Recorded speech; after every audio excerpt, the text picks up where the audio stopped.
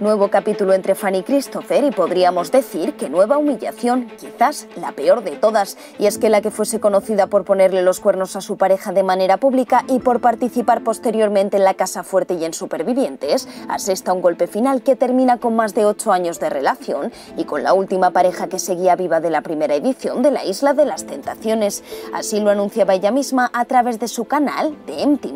He dejado a Christopher, decía, aunque lo importante viene aquí, pues pues sigue considerando al chileno como el padre de su hijo, pese a que biológicamente no lo es, aunque así lo ha ejercido durante buena parte de su vida, y aclaraba que se van a seguir viendo y que van a seguir siendo amigos. No obstante, Fanny aclara que tiene una nueva ilusión, por lo que parece que ya hay otra persona que ocupa su corazón y el hueco de Christopher.